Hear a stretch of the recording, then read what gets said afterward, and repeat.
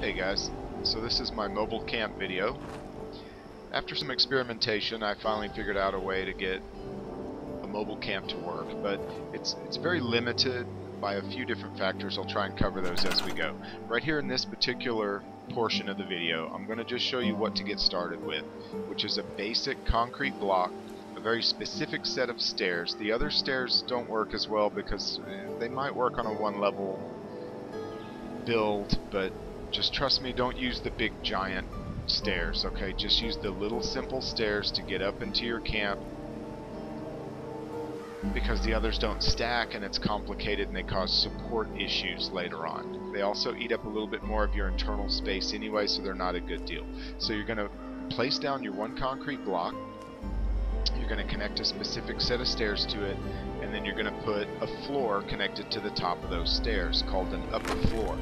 Once you get that upper floor on top of your stairs, from there you can just build out a normal camp, well, a very small camp, because the blueprint budget is very small.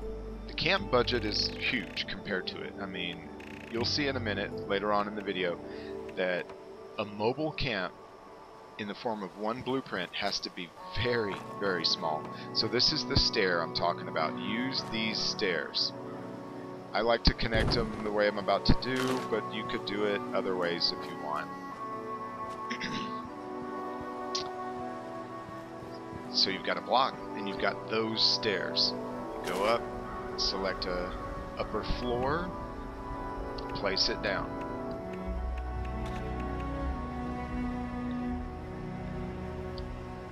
This video I had a little bit of trouble getting it to snap to the top of the stairs, but it will. Just takes a little bit of work, you know. Just wiggle around, you'll get it to snap on there. There we go. Now once you're up here, that's it. This is the structure that you need to create a mobile camp. So what you do, connected to that floor up there, is you just put down more floors next to it, you build some walls, build some ceilings, plop in some beds and crafting tables, whatever, but keep it minimal, super minimalistic, because you'll see in a minute there's just not much room in it. So that's what I do now in the videos. I'm going to connect a bunch of floors. I'm not going to show it all. I'm going to go from this to a fully constructed little box house up here. So I'm just trying to line everything up in this crazy cantankerous editor. It's very difficult to use. There are some issues. I mm-hmm. kind of want to cover them as they come up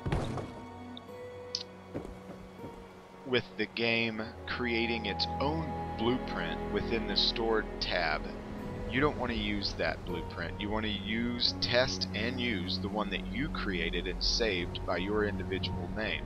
Because that is, after all, what we're trying to do here. The stored tab blueprint is going to change every time you pick up your camp because it's created by the game. So up here I'm at the top of my little box that I created, and I got up here in order to blueprint blueprint stuff easier, but these stairs and these two pieces of floor were not actually part of my build. They, I just built them in order to crawl up here so that I can now start blueprinting these objects one by one, being very careful and very meticulous. When you're blueprinting power conductors, the wire is included, so you don't have to blueprint the wire. I don't even know if you can. I know I did try it first. But if you blueprint two conductors, the wire between them is automatically blueprinted as well.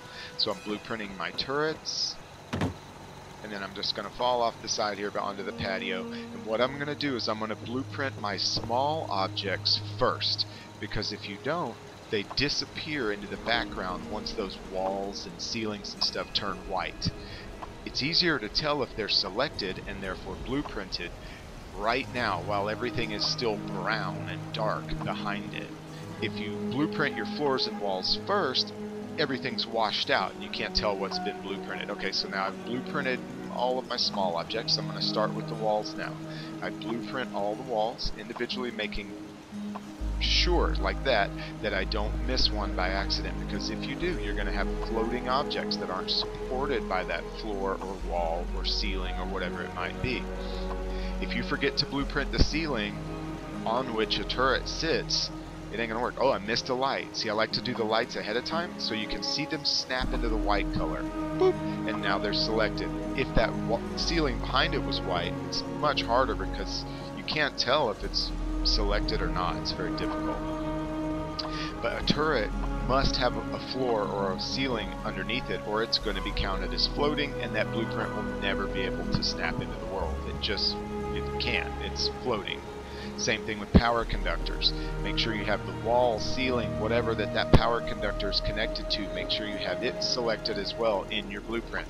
So now I've got all my small objects, all my wars, uh, walls, floors, and ceilings selected. They're all white. I'm double checking. I'm looking around. The lights are selected. I'm going to hit the front porch. Select that. Make sure they're all white. Boom. Only see if you notice my blueprint budget in the top right corner, the blue one is almost full already, and there's like nothing in this blueprint. And when I hit this concrete block, boom, that's it. I might be able to squeeze in one more item, like one more light, one more turret, one more something. And from what I can tell, all of the items are equally sized, so they uh, pretty much count the same towards the blueprint budget. This is the maximum amount that you're going to be able to save as a mobile camp. You can do multiples of these. If you notice my normal camp budget up there, I could build four of these things in separate blueprints and then lay them all down. Know, whatever. Whatever floats your boat. So then you save the blueprint. And then we're going to go to the big test, which is I'm going to replace my camp in the world and this camp is going to disappear and be put into my stored tab in the form of a game created blueprint. We'll get into that in a second, but it uses up, it counts those materials against you, so to speak. So in a moment, I'm going to pull up that blueprint that I just made.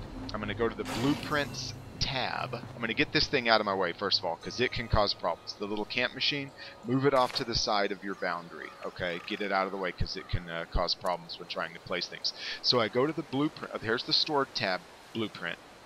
I go to the blueprint tab and I go to my final small O1 and you see that it's white saying I can't you can't place this why oh because I don't have enough aluminum that's because they've stored all of the components I used to make this blueprint in my fucking stored tab. So I have to go to my stored tab to that little game made blueprint. In the top right, you'll see it's called Camp Blueprint. It's using up all the materials for that blueprint. It's not giving you credit for them. So you have to, I personally delete that blueprint so that I can test my personal blueprint in the blueprint tab to make sure it works. So I'm going to delete this by hitting X, delete prudent, uh, blueprint and store all components, yes, you're still storing all the components. You're not losing anything. The only thing you're deleting is the blueprint that the game made. Just the blueprint, not the materials. Now I go to the blueprints tab and look, boom, voila, like magic. A second ago this could not be built, but now it can because I have retrieved all those materials from my stored tab with me. I hope that you understood that. I'm having a little trouble explaining things today. As you can see, this can snap in almost anywhere. I mean, anywhere that one concrete block can snap in, I can build this little battle tower, whatever you want to call it. So, make sure that if it's showing that you can't build it, that you go to the stored tab and delete the game created blueprint. Because you want to use your blueprint at the bottom at the top right you'll see it, it's named final small 01 that's a name I created. So I want to test the blueprint that I made because the blueprint that the game makes in the stored tab will change every time you move your camp it's going to take a snapshot of what you have built there so it's not reliable. You know, you can't store something there permanently and forever, uh, a blueprint wise anyway, because it's going to create its own every time you move your camp. You want a blueprint in this tab, the blueprints tab. That works. That is the bulk of your camp, or not really, it's tiny, but I mean like that is a battle tower that you want to have pre-built that you can plop down anywhere in the world, and this is it. So I'm just trying to line up that concrete block now, getting is getting it as low as I can to the ground so that the stairs are naturally on the ground. That's what all that movement was about. So now there you go. I've got a little box cabin up there very basic, very rudimentary, but it snaps in as long as you have the materials by deleting the crap out of the, uh, the stored tab and so on. And by being very careful and meticulous when you're blueprinting those objects so that none of them are floating in midair. Turrets, power conductors, lights, everything has to be connected to something that you're blueprinting.